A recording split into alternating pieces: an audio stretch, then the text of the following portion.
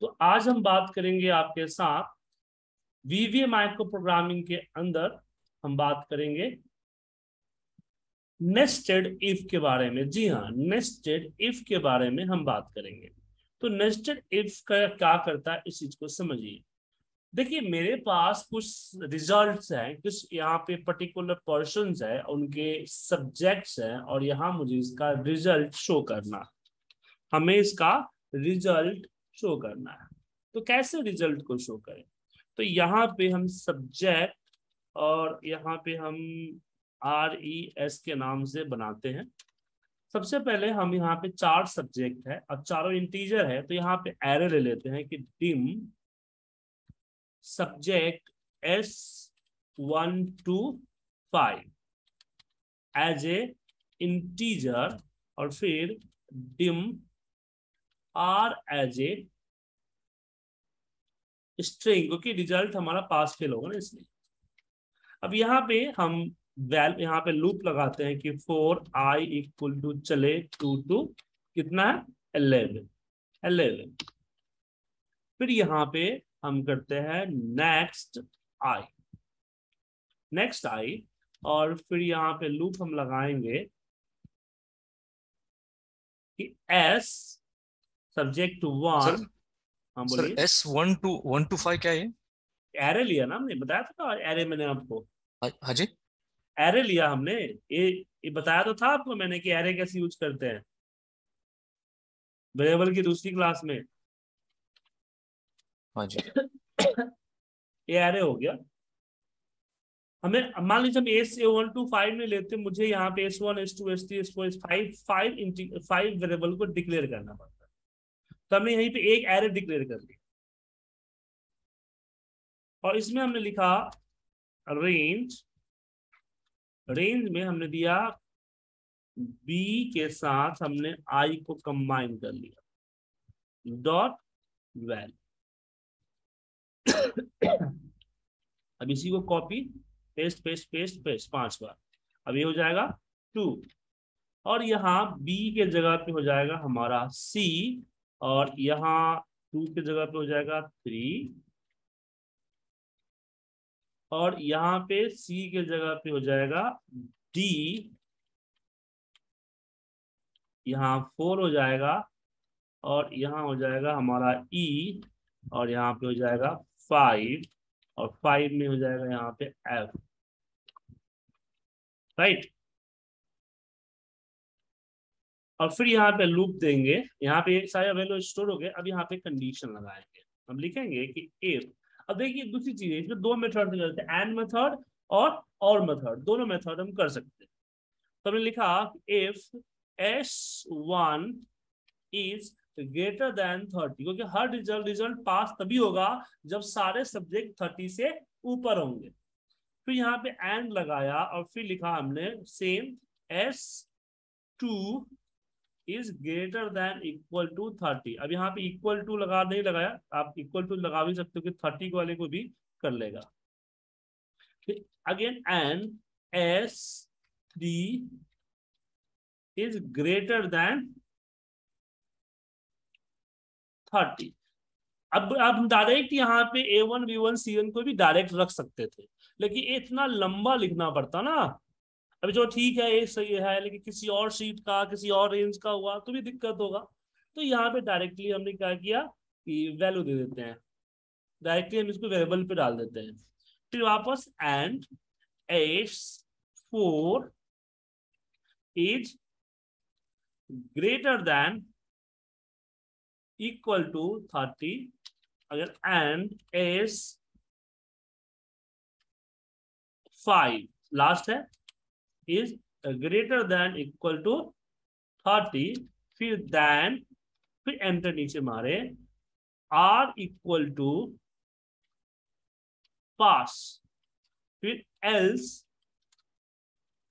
R equal to R equal to fail और मैं यहाँ पे एंड इफ़ कर दिया।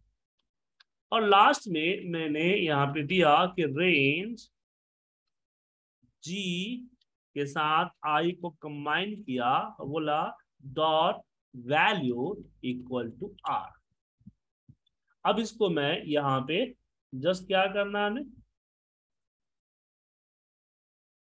इसको यहाँ पे जस्ट रन कर देना। रन करते ही आप देखेंगे यहाँ सारे कोड आ गए। राइट सर लेकिन मुझे इसमें पता करना है कि कौन से सब्जेक्ट में फेल हुआ है। कौन कौन से सब्जेक्ट में फेल हुआ है ये मुझे इसको यहाँ पे दिखाना है। तब क्या करें? तो उस केस में हम नेस्टेड इफ़ का इस्तेमाल करेंगे। किसका इस्तेमाल करेंगे?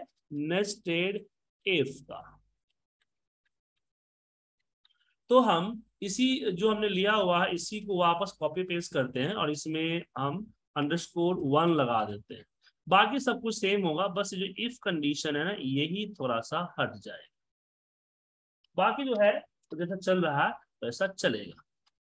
अब यहाँ पे कंडीशन हम नेस्टेड इफ़ का लगाएँगे। हम लगाएँगे कि if S one is greater than equal to thirty then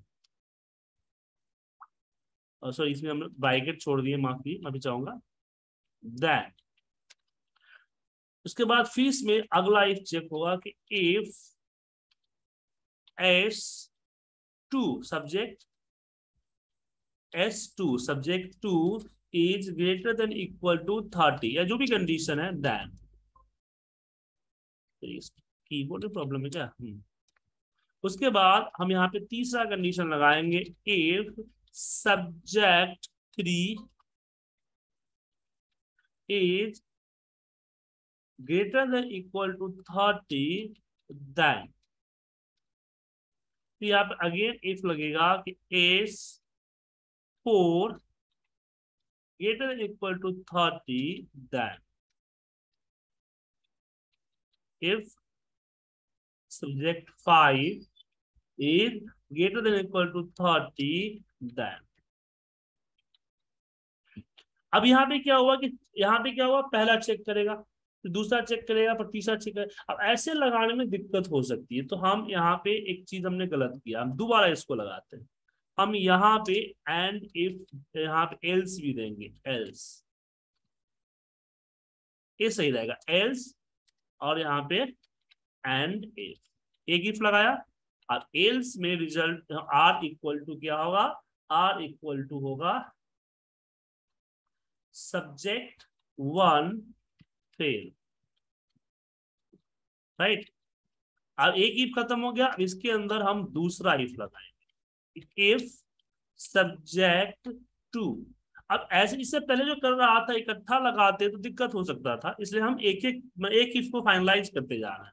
Then else r equal to subject to dot fail और यहाँ पे and if राइट सर फिर यहाँ पे हम देते हैं अगला कंडीशन की if S underscore three E three is greater than equal to equal to 30 then यहाँ पे फिर else और फिर यहाँ पे r equal to subject in order को हमें सब्जेक्ट थ्री फेल अब यहाँ पे end if again if subject 4 is greater than equal to 30 then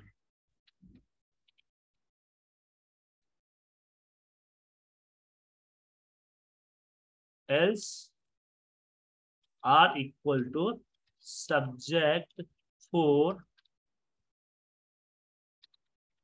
fail यहाँ पे एंड एफ़ फिर इसको एंटर करते हैं और लास्ट जो हमारा है, वो देते हैं कि if subject five is greater than equal to thirty then then अब यहाँ पे आगे तो आगे कोई कंडीशन नहीं है तो यहीं पे डायरेक्ट हम रिज़ल्ट दे देते कि यहाँ पे हमारा पास होगा else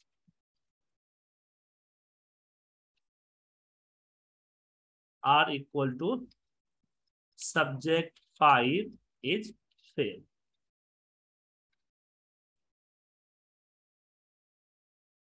okay अब ए आपकी कंडीशन लगी। अब इसमें क्या हुआ कि मैं जो है,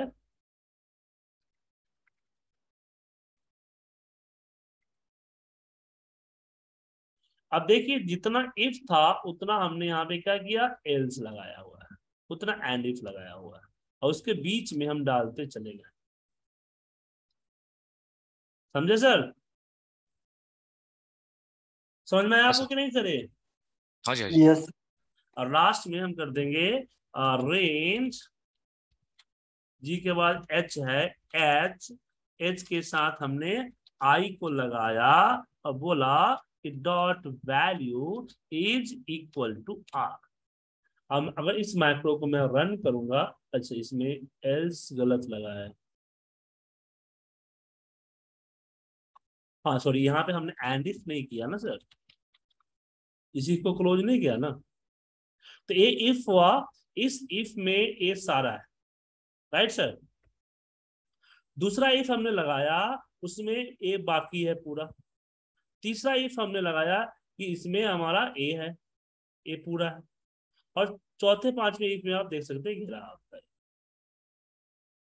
एक इफ़ के अंदर दूसरा इफ़ और इसको यहाँ से हम रन करेंगे तो देखेंगे यहाँ पे पास फ़िलहाल अच्छा यहाँ पे एक छोटी सी दिक्कत ये हो रही है, अब ध्यान से देखिएगा, छोटी सी दिक्कत ये हो रही है कि जो सब्जेक्ट पहले सब्जेक्ट में फेल है, वही आ रहा है। अब जैसे इसमें देखिए कि इसमें आपका सब्जेक्ट थ्री और सब्जेक्ट फोर दोनों में फेल है बट यहाँ पे सिर्फ़ सब्जेक्ट थ्री शो हो रहा है।